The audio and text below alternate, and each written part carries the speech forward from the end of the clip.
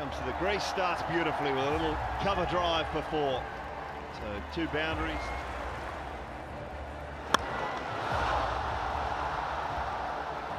Two wickets in the Dilshan over. The end of two, it's 10 for